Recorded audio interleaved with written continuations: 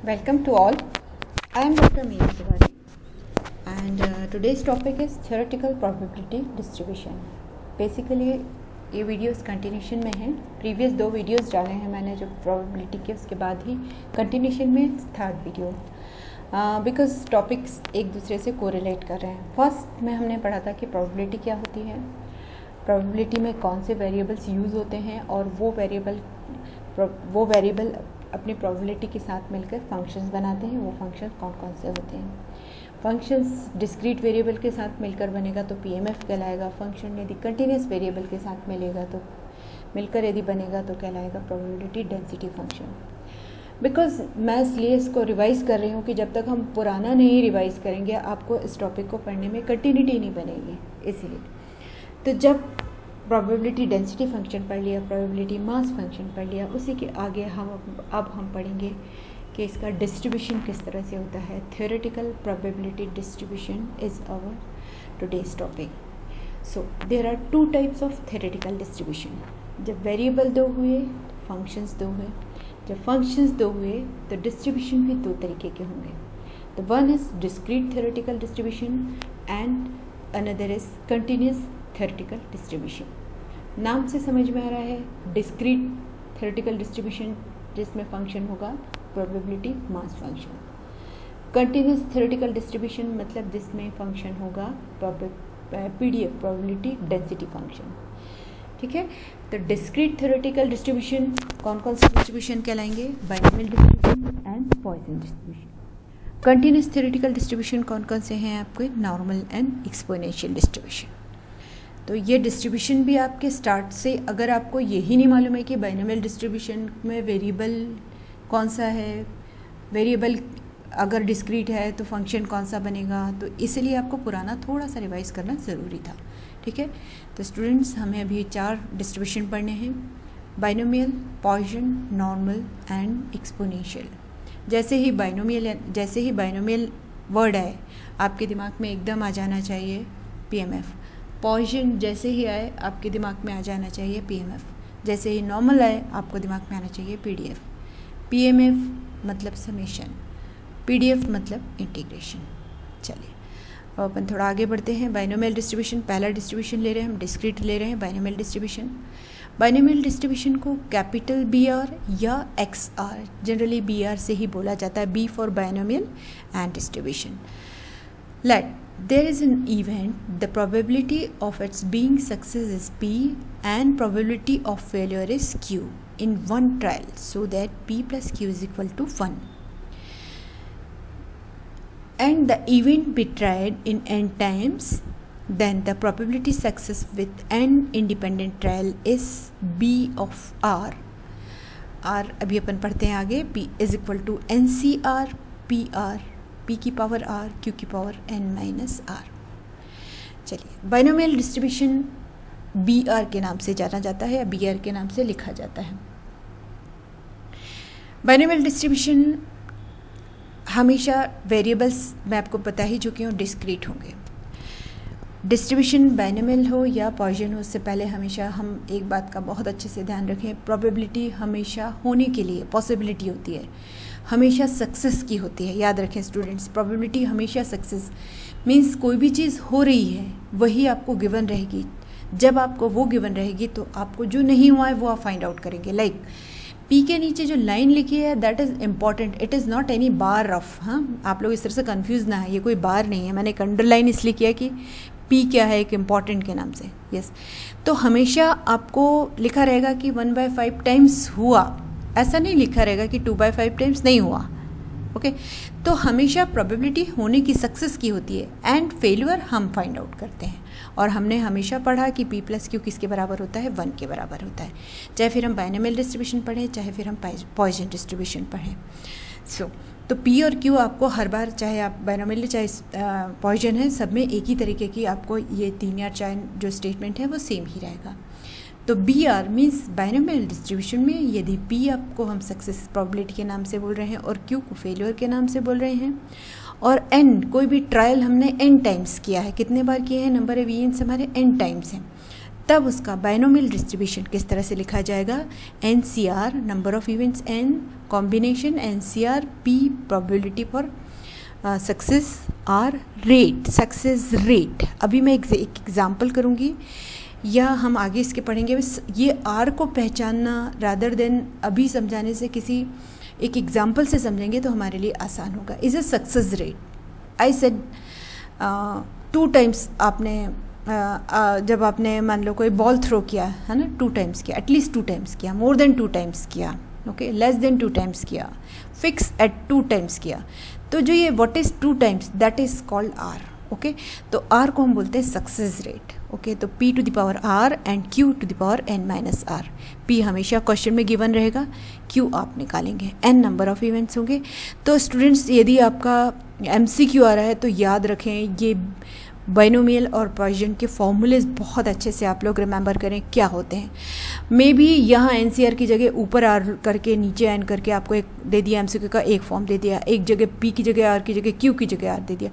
Like like this आपको अलग अलग कॉम्बिनेशन दे दिए हैं एम में अलग अलग दे दीजिए दे दिए आपको कॉम्बिनेशन और आपको पूछा गया कि which one is right for b r so आपसे सबसे रिक्वेस्ट है हर मैथड के फॉर्मूले को बहुत अच्छे से आप लोग तैयार करें okay so this is your binomial distribution binomial distribution का फॉर्मूला था। अब where r is what success rate because और एक चीज़ और देखिए, यहाँ पर ज़ीरो लिखा तो मुझे याद आ गया। हमेशा हम ज़ीरो से ही स्टार्ट करते हैं। कोई भी प्रोबेबिलिटी हमेशा ज़ीरो से स्टार्ट होगी। आपने देखा होगा मैंने प्रीवियस जो लेक्चर थे या प्रीवियस जो डेफिनेशंस थी, उसमें भी मैंने हमेशा ग्रेटर देन और इक्वल टू ज़ीरो लिखा है। तो equal to zero means start from zero है ना? ज़ीरो रहता ही है है ना? वन से कभी स्टार्ट नहीं करना। तो r is equal to zero one two three like this okay अब आ, इस वीडियो में आ, कुछ मेरे पास इसके इसके थ्योरी है जो मैंने पहले कर ली है। इस एग्ज़ाम्पल्स इसके बाद में करे हैं तो पहले हम अभी जो है वही पहले कर लेते हैं फिर इसके बाद इसके एग्ज़ाम्पल्स करेंगे। अब फिर मैं बोल रही हूँ कि अगर आपके एम सी क्यूज़ आ रहे हैं तो याद रखिए बाइनोमियल को बर्नोलीज भी कहा जाता है। तो ये छोटी छोटी जो चीज़ें हैं, आप इसको जस्ट याद रखें, या बार बार आप मेरा ये वीडियो देखेंगे तो खुद ही याद हो जाएँगे। बर्नोलीज क्या होता है है ना? बाइनोमियल को ही बर्नोलीज कहा जाता है। सो बर्नोलीज डिस्ट्रीब्यूशन और binomial distribution are based on certain assumptions each trial has only two possible outcomes students again मैं फिर आप लोगों को बोल रही हूँ कि ये जो आपका सिनारी आ रहा है, ये आपका चेंज ऑफ़ पैटर्न है, जो आपका एग्ज़ाम का, इस पैटर्न में आपको थ्योरी भी पढ़ना पड़ेगी। अभी जो प्रीवियस एग्ज़ाम्स होते थे, उसमें सिर्फ़ आप एग्ज़ाम में क्वेश्चन करके आते थे बट अभी अगर आपने एमसीक्यू में थ्योरी नहीं पढ़ी तो आप हर छोटे क्वेश्चन का आंसर नहीं दे पाएँगे। इसलिए इन थ्योरीज को भी पढ़िएगा। Each trial has only two possible outcomes या तो होगा या नहीं होगा ज़ीरो और one the number of trial n and should be finite and small the hypothesis of binomial distribution the variable should be discrete all the trials are independent. The number of trials is finite and fixed and small. In every trial there are only two possible outcomes, success or failures. ठीक है? तो ये इसकी hypothesis थी which is again as important for any small small question for and answers and that is very very important इसलिए मैंने underline भी किया है, ध्यान से देखिए।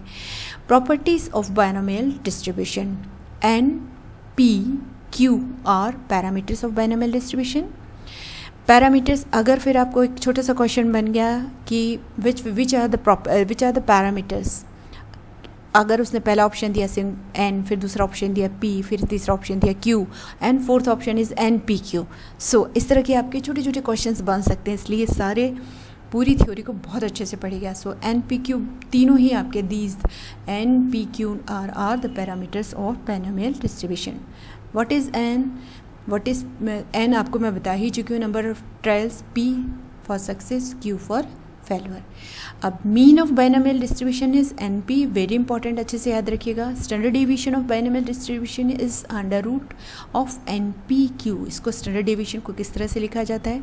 And variance of binomial distribution is n p q इसमें अंडर रूट है, इसमें अंडर रूट नहीं है। या मैं इसको स्क्वायर कर दूँ स्टैंडर्ड डिविजन का तो वो वेरियस वेरियंस हो जाता है। ठीक है? तो ये पैरामीटर्स को बहुत अच्छे से याद रखिएगा। If p is equal to one by two and q is equal to again one by two the binomial distribution is symmetrical अब एक और एम सी क्यू बन सकता है कि विच वन इज़ सिमेट्रिकल या ऐसा भी बन सकता है, p by is equal to one by two q by is equal to one by two binomial distribution is fill in the blank अब कौन कौन से उसने कई तरीके के नाम दे दिए? So that is the right one is symmetrical okay तो मैं अगेन आप लोगों से रिक्वेस्ट है कि थ्योरी को बहुत अच्छे से पढ़िएगा। अब बाइनोमियल डिस्ट्रीब्यूशन के जो मीन्स जो पैरामीटर हैं, जिसमें पहला है आपका मीन नेक्स्ट है आपका स्टैंडर्ड डिवीज़न एंड वेरिएंस तो आपको मीन पढ़ना है एंड वेरिएंस मीन और स्टैंडर्ड डिवीज़न या वेरिएंस कुछ भी एक पढ़ लेंगे, आपको तीन में से सिर्फ़ दो ही पढ़ना पड़ते हैं तो आपको ईजिली आप तीसरे को फाइंड आउट कर सकते हैं। So binomial distribution b r का मीन कैसे फाइंड आउट करना? स्टूडेंट्स आपको इसके लिए मोमेंट्स पढ़ने पड़ेंगे बट मोमेंट्स आपके सिलेबस में नहीं हैं। इसलिए आप बस इतना याद रखिए कि होते क्या है मोमेंट्स तो अभी हम कहाँ से स्टार्ट करते हैं बाइनोमियल डिस्ट्रीब्यूशन बाइनोमियल डिस्ट्रीब्यूशन को स्टार्ट करने के लिए ये मैंने एक फॉर्मूला लिखा है, अभी आपको बीच इसका जो प्रूफ आएगा उसमें इसका यूज़ होगा।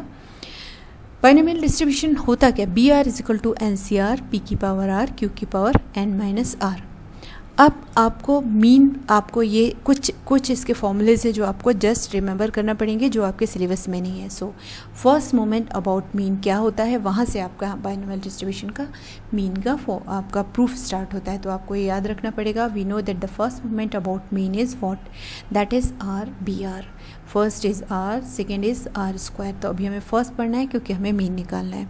अब हमने इसका नाम दे दिया है म्यू वन डैश ठीक है?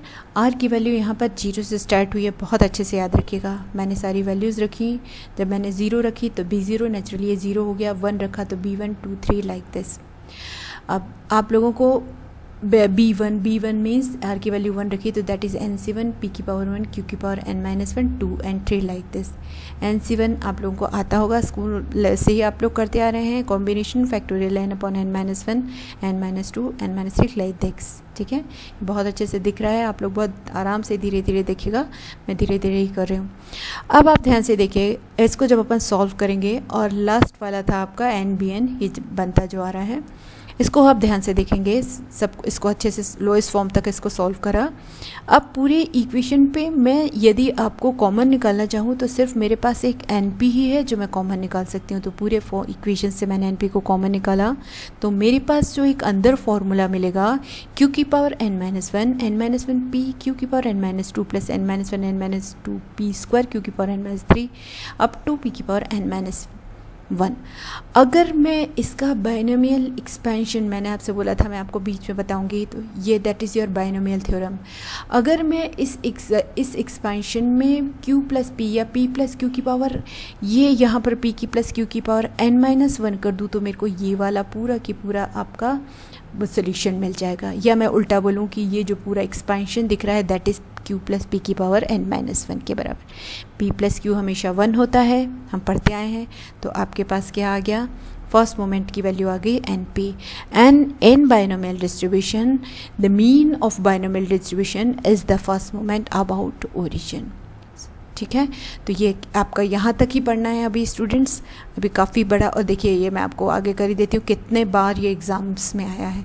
तो अभी मुझे वीडियो यहाँ पे ख़त्म करना पड़ेगा। फिर मैं नेक्स्ट वीडियो में इस प्रीवियस वीडियो का भी कुछ कुछ पार्ट लूँगी और इसके वेरिएंस और स्टैंडर्ड डिविएशन को मैं डिस्कस करूँगी। आई होप आपको बहुत अच्छे से समझ में आया होगा। इसको धीरे धीरे स्क्रॉल करिए और इसको बहुत अच्छे से समझिएगा। So thank you so much